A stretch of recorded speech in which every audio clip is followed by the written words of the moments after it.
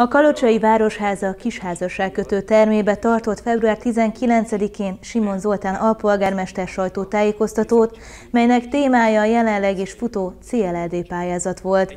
A városvezetés számára az utóbbi évek egyik legfontosabb pályázatára közel 250 millió forintot fordíthattak. Ez a pályázat öt éve indult el, de még egyáltalán nem vesztette aktualitását, hiszen öt éve folyamatosan tart, jelenleg is a pályázatok nagy része folyamatban van, és a zárás az vagy ez évben, vagy a jövő évben kerül majd végrehajtásra. Különleges pályázatról van szó, ugyanis a kiírt felhívásra civil szervezetek és vállalkozások egyaránt pályázhattak.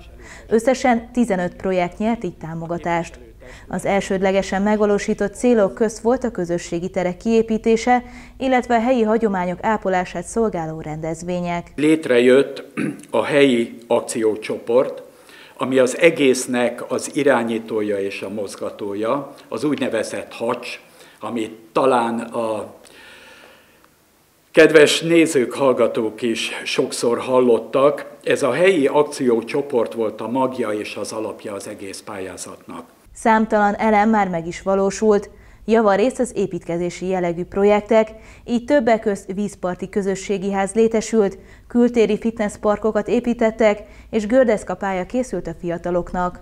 A járványhelyzet miatt azonban a rendezvények lebonyolítása a későbbiekben kerül megvalósításra. Feltételezhetően az ősz folyamán rendkívül sok rendezvényel fog Kalocsaváros lakossága találkozni, ami nem baj, sőt szerintem nagyon jó, mert a nagyon hosszú időszak után végre, amikor kiszabadulunk, én úgy érzem, hogy nagyon nagy lesz a paletta, amiből a város lakossága választhat, és ez egy nagyon örömteli.